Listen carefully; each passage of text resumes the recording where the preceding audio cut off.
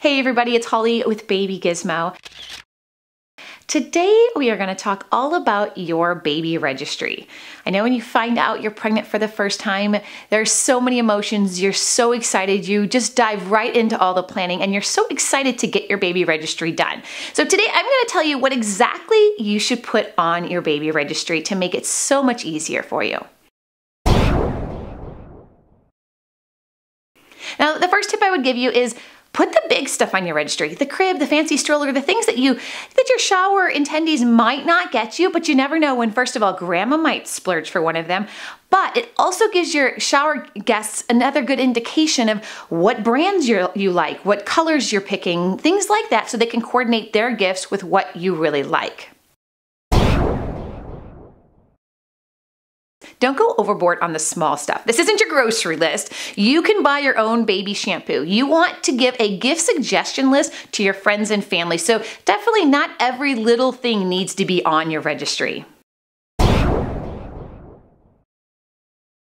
Now, speaking of little things on your registry, I would leave off the personal stuff. Now, think about who's gonna see your registry. The guys at your husband's office don't need to know what kind of breast pads you prefer, or your dad doesn't need to know the nipple cream that you chose. So the personal things you can definitely get yourself, so leave those off the registry.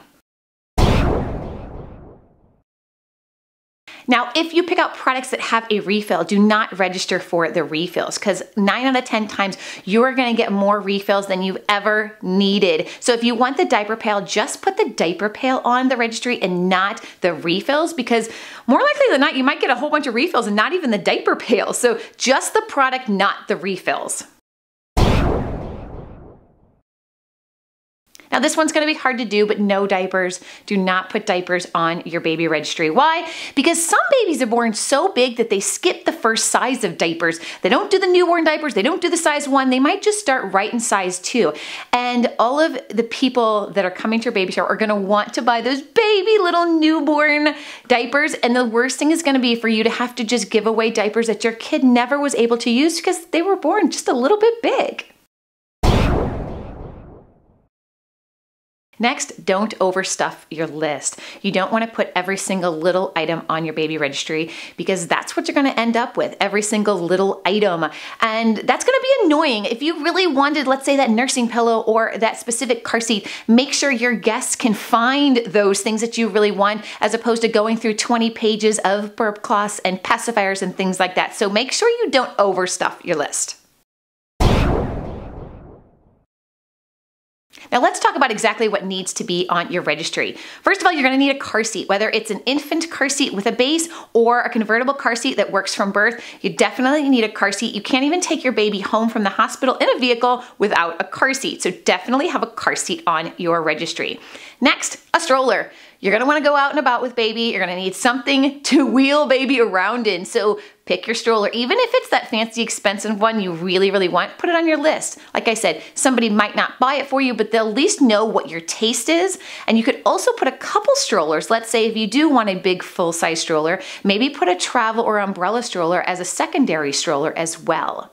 Now you're gonna need to set baby down at some point. Believe me, they're adorable and cute, but eventually you're gonna need a break. So you're gonna need something like a bouncer seat or a swing, something to set baby down. Depending on your budget or how much how much space you have in your house, you could definitely put a bunch of them, but you really only need one place. So let's say a bouncer seat, and if you wanna do a second one, a swing, I think those are perfect.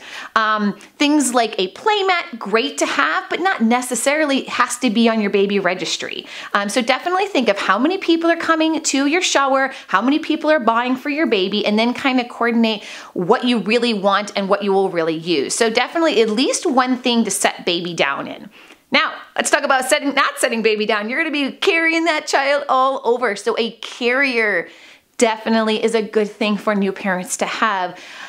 When you're putting a carrier on your list, before you do it, I would go ahead and do some research. Try out your friends, ask your friends, ask what kind of carriers they like. There's all types of carriers from slings to wraps to structured carriers, so many different carriers, and moms are different. Some people like one thing and the other ones like another. Try your friends' carriers on. If you don't have any friends that have babies yet, go to the store, try them on. Um, it's definitely gonna give you a good indication what you are gonna like, but a baby carrier on your registry is a fantastic idea.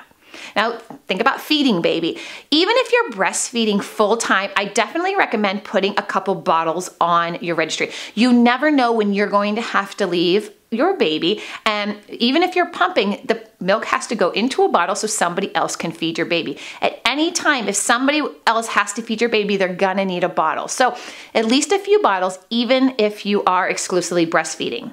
If you are breastfeeding, you are going to need at least I think you should get a nursing pillow. That is going to elevate baby up to breast level. It's going to be more comfortable for you, more comfortable for baby. Your arms aren't going to be shaking every single time you feed baby. Sometimes nursing sessions can take a little while at the beginning to get used to it, so a nursing pillow is going to need to be on your registry. Other things you would need for feeding is bibs and burp cloths. Now I said don't overload your registry with every little thing, but if your registry isn't too full yet, definitely some bur bibs, burp cloths, because even like I said, bottle feeding, breastfeeding, all babies burp. They're gonna spit up. Um, so you're gonna wanna protect those cute little clothes you picked out. Now moving our way into the nursery, like I said, definitely put your crib on there just for reference for your guests, but you're also gonna need a baby monitor. I adore video monitors. I think it's a must have for new parents. I really, really do. Whether you live in a small apartment or a huge mansion, a video monitor in the nursery helps you keep an eye on your baby, gives you some calm, you know, peace of mind that your baby is maybe just crying because they're trying to like work it out and go to sleep or they're hurt. Like keeping an eye on your baby is gonna give you that peace of mind. So get a good video monitor, put it on your list. I'm telling you, you will thank me a hundred times over. Now, along with the crib, you're also going to want to put maybe some crib sheets. Um, again, that not only if they don't get it for you, it's going to give them your nursery style, your guests, so they can pick other things out to coordinate with that. So um, you need the mattress for the crib, you need crib sheets, and then a mattress pad is always a great idea because there are diaper accidents all the time in those cribs. And last thing you wanna do is ruin your crib mattress. Even though a lot of them are waterproof, I always think a mattress pad is great for easy cleanup. Also in the nursery, I think it's a good idea to have a rocker or a glider. There are gonna be many nights, many days that you're gonna wanna rock your baby. They're gonna be upset. You're gonna need a little time to just, maybe you're just bonding with your baby. A rocking chair or glider is going to be so invaluable for your time with your baby, whether it's in the middle of the night or middle of the afternoon. Definitely, I would splurge on that as part of your nursery furniture. Also, along the lines of going to bed, you're gonna wanna get some wearable blankets. Now, even if you have a summer baby, we've done videos before where we tell you a bare crib is a safe crib. So you're not gonna have any blankets, any bumpers, any comforters, anything like that in the crib. So what you wanna get is a wearable blanket. If you have a summer baby, you're going to want a thinner material. If you have a winter baby, maybe it can be a little thicker. But those are great things for your registry. They're not super expensive, but definitely something you're gonna want to put on your baby if it is a little chillier, whether it's in the nursery or it's the middle of winter.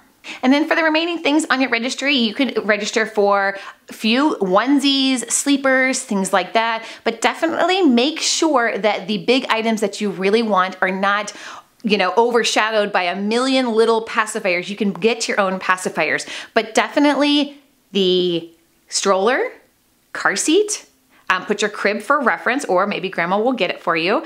Um, you definitely want bottles and baby monitor, sheets for the crib, mattress for the crib. Um, you also need somewhere to put the baby down as a swing or a bouncy seat. You also need a carrier. More than nine out of 10 parents use carrier, so you don't have to have it, but I feel like a lot of people baby wear. It's a great bonding time with your baby. So baby carrier, these are the majority of things. Skip the high chair. Your baby's not gonna use a high chair unless it's one of the fancy ones that they can use from birth until they sit up at six months old. So you can get the high chair later down the road. Um, you also don't need a potty yet. You're not potty training it, you know, right out of the womb. So definitely definitely those things you can wait till later. So don't put things on your registry that they're not gonna use for nine to 12 months. Um, and those are all the big things. Like I said, put the things you really want.